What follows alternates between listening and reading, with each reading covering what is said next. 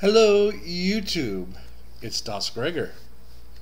And before you go, are my eyes deceiving me? Two videos for Das Gregor in one week? Did he get fired? No, I did not get fired. My job is still busy as usual, but the wife and kids are still on their vacation in Pennsylvania, and I have the house to myself. And once work is done, what more is there for me to do but to look at Linux for you?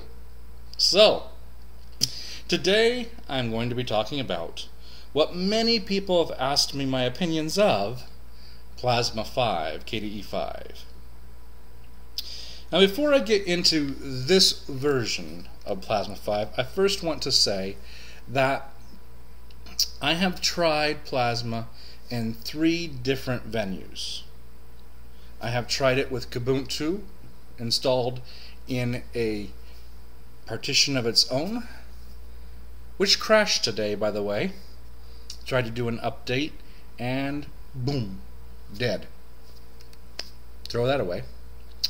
After I did my Ubuntu a couple days ago, I also put Plasma 5 or Kubuntu desktop on the top of that and allowed it to install side by side so that I could have two GUIs sitting there to bounce back and forth and try. And what I found was a complete headache of crash after crash after crash, bug report after bug report. And I said, This cannot be so. This cannot be. It's got to be a Ubuntu issue with that. So I blew it away. And I saw in the comments as I was reading some of the stuff from Ubuntu about someone stating that they were going to put SUSE 13.2 with Plasma 5 on there and use it. So I thought, ooh, you know, I like SUSE. I've used SUSE for many years in the past. It's been a while since I've taken a look at SUSE. So let's throw SUSE on there and give some love to SUSE because, you know, as I said long, long time ago in one of my old videos about SUSE, I actually tried to get my wife to let me name my first daughter, my only daughter, after SUSE. I was vetoed. I don't know why, but I was vetoed. She didn't like the idea of me naming my our kids after distributions of Linux. I thought it was a great idea. Anywho, one thing I want you to notice right away without tweaking, without doing anything different, just being in SUSE instead of Ubuntu, guvcview is giving me 20.15 frames per second, and I haven't done any tweaking to it. That's just the robustness of a better OS, a more defined OS. So, without further ado, Plasma 5. What do I think of Plasma 5? First off, the biggest problem that I think that a lot of people try to do, myself included, is that they get something new and immediately they try to make it look like what they used what they're used to. What they what they had before. Know, as I said, myself included, I wanted to put the same widgets that I had before on there. If you remember my Gentoo desktop, I've got some things on there that show me re system resources with the processors.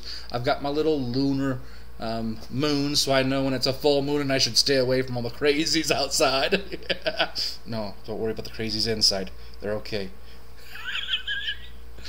and there are a few other things. I like the Lancelot application manager much better than the Kicker that KDEs come with. And unfortunately, that's not there. That's not available. None of those things work very well. And you'll notice too that instead of having the little launcher on the upper right like it used to be over here, it is right here. If you go add widgets, instead of them being down here where you used to, they're in this area here. Now, one thing I don't like is like, I would like to make this a little bigger so I can see it a little bit better. However, I want to point out, and I don't have a screenshot unfortunately, but when I looked at Ubuntu's, it was really clunky, hard to read, and terrible, whereas this one was much more clear, easier to look at, and better defined. And these are mostly all of the default that come with Plasma 5.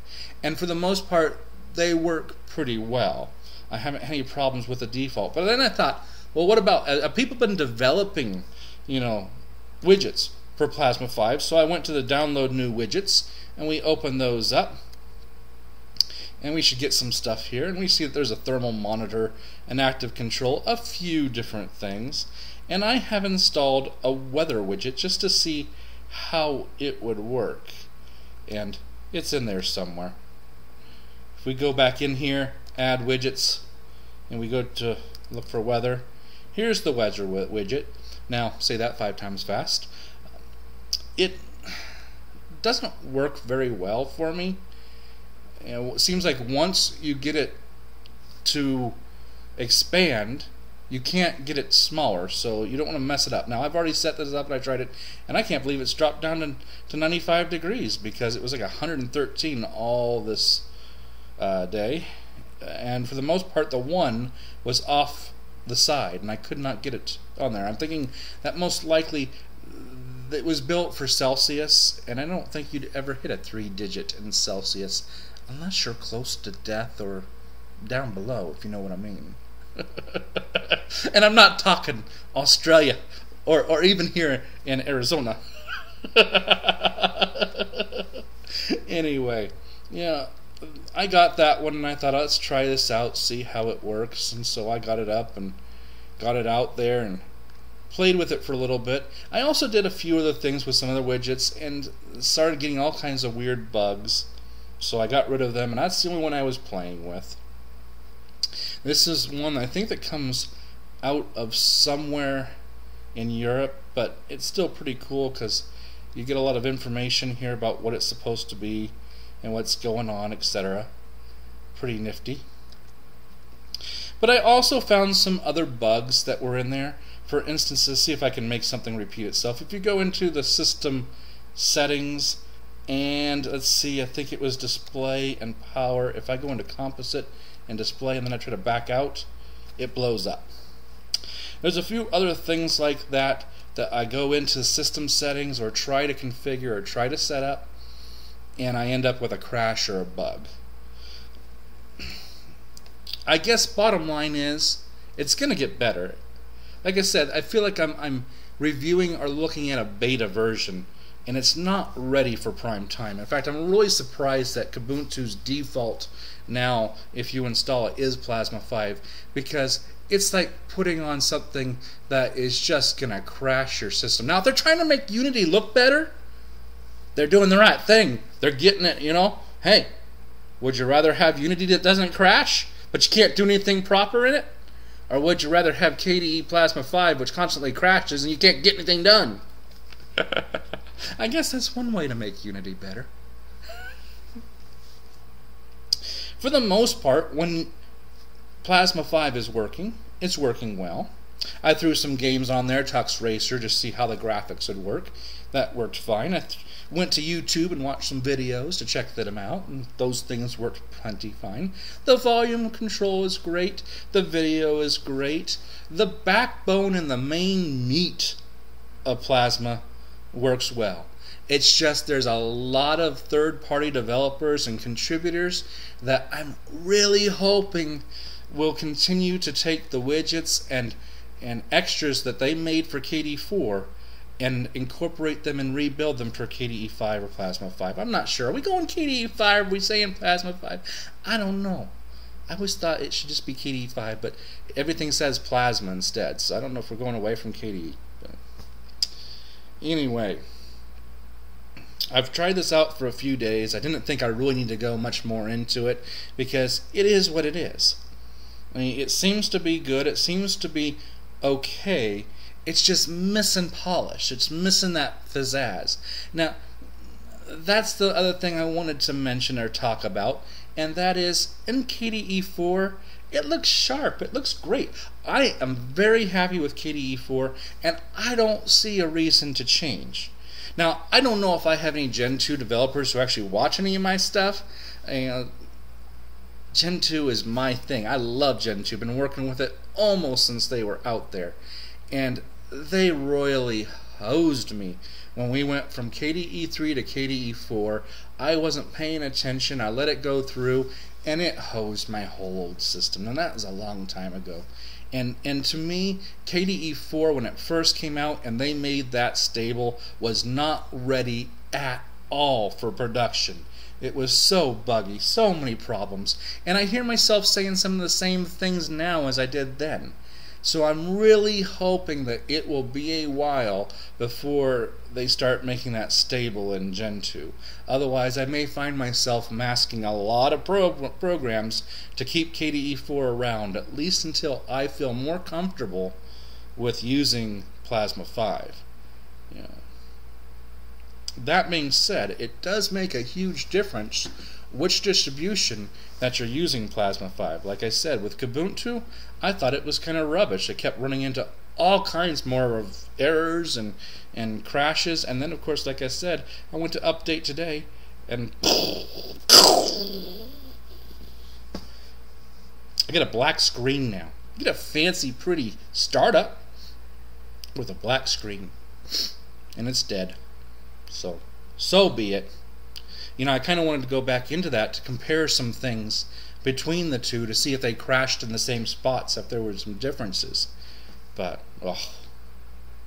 Oh well, so much for that. So that's pretty much it for my opinion right now on Plasma 5. That's all I'll say. You know, bottom line, they're getting there. It's not ready for production in this humble Gentoo man's opinion. But it is getting there. I think we need some more support with some of the widgets. I think they need to fix some of their system setting issues. I think that there are a little there's a little bit here and there that still needs polished. Uh, there were some big complaints about how big, for instance, this title bar was. And what I ended up doing to fix that is going and finding another, in the look and feel section, a different title bar or a different window decoration that I was able to download that I liked a lot better. That made it a little bit smaller and less bloated. There are some things about default Plasma that in the beginning is like, ugh. It looks like you took Windows XP and kind of blew it up a little bit and made it a little bit bigger and uglier but it doesn't it doesn't feel 2015 and I'm a little disappointed about that because KDE 4 in on my Gentoo box feels to me very 2015 but this it reminds me a while back and I can't remember who it was. I can't remember if it, it was um, it was a large company who, who does some other things. It might have been Sun Sun but they developed an OS completely written in either Qt4 or maybe it was just a Java base, complete Java. Whatever it was, it was written in without anything else but one specific programming language. And maybe someone out there will remember this. And it was an interesting proof of concept, but it wasn't very useful or practical. Now, Plasma 5 is a little bit better than that, but its look and feel reminds me of that. Clunky, not yet polished, needing a little bit more rough around the edge. You need to get the sandpaper out, kind of scrub some sides and so forth. But I think it's getting there. Yeah. I'm not too crazy about some of the icon structures that they've gone with, but that's the cool thing about KDE. Unlike Unity, I can go in there and I can configure icons. I can configure my desktop. I can put those buttons on the left. I can put them on the right. I can put them anywhere I want. There's all kinds of choices, and I like that. Like I said in Unity, I like to tweak things. I like to make things personalized for me, and KDE still gives me that ability. I don't have to go by one person's thought process as the way they like it, and they're going to force me to be. And that's what I like most about KDE. So thank you for listening to me ramble once more, twice in one week. I am going to try to make this the summer of Linux, or for you under the southern hemisphere, the winter of Linux. the cold, dark winter. anyway, if it's morning, evening, noon, or night, whatever you're having, I hope you enjoy it. Thanks for watching this. If you want to try Plasma 5, I would suggest going to SUSE 13.2, downloading it, installing it that way. And the way I installed it was when you choose your desktop interface and then you get to the part, the part where you can choose more applications to install you can actually go into that and then in the desktop environments you will find Plasma 5 listed to choose from. And just make sure you don't have KDE4 checkmark because the first time I tried that I had them both kind of there and it did not work. I had to start all over and do it again. Uh, but when I did that that's how I got it on there. Much better way to look at it than I think Kubuntu right now. Of course I'm sure that'll change as, as people work on different projects. I've always liked SUSE though. So if you want to try it go that route. And that's what I'll leave you with. Until later Bye, guys.